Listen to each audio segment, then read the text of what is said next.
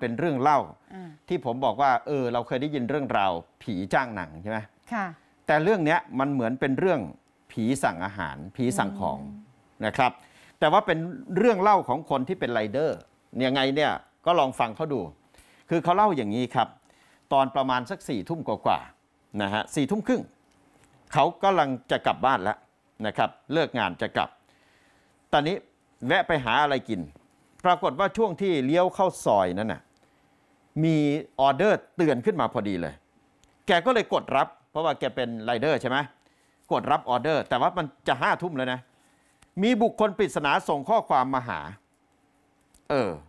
ในรูปแชทที่แคปมาเนี่ยนะครับ มีเบอร์โทรเสร็จสรรพเลยนะอืมเออ เบอร์โทรเสร็จสรรพเรียบร้อย อ้าว ก็รับออเดอร์ แล้วก็ขี่รถนะครับ มาจนถึงหน้าบ้าน พอไปถึงหน้าบ้าน หน้าหมู่บ้านนะ หน้าหมู่บ้าน นะครับหมู่บ้านแถวนี้นะ่ะถ้าถ้าฟังดูเนี่ยก็จะอยู่ประมาณแถวแถวๆคลองหลวงนะครับเออเขาก็บอกว่าเขาก็เลยไปถามรปภเอ่อไปถามรปภนะครับรปภก็ถามกลับมาว่า บ้านเลขที่เท่าไหร่นะ บ้านเลขที่นี้นี่เนี่ยรปภมองหน้ากันเลิกหลักเออไม่ผิดแน่นะ ไม่ผิดครับบ้านนี้ครับ น่าจะผิดมั้งเพราะบ้านหลังเนี้ยเขาร้างมานานอืมันจะมีคนสั่งของได้ยังไง โอ้ไรเดอร์ก็ขนลุกขึ้นมาล้วเออ ลองโทรไปดูสิปรากฏว่าโทรไปตามเบอร์ครับ พอโทรไปตามเบอร์เนี่ย มีตัดสายทิ้งสามครั้งไรเดอร์ก็บอกว่าพี่เขาตัดสายรอปภบอกว่า เอ๊น้องรู้ไหม บ้านเนี้ยเขามีเหตุการณ์เหมือนกับการฆ่าตัวตาย เออ โอ้ไรเดอร์บอกใจสั่นเลยฟังอีกทีใจสั่นเลยอืมนะครับ หลังจากนั้นก็ เอ๊ะ อยากจะไปดูอะนะฮะจริงเหรอเอออยากจะไปดูว่ามันยังไงจะได้ถ่ายรูปเพื่อส่ง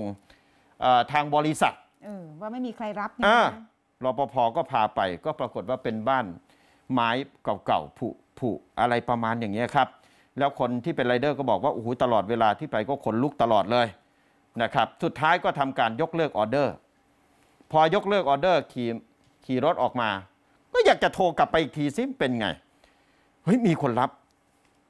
เป็นผู้หญิงเสียงแข็งแข็งๆเออ เสียงแข็งแข็ง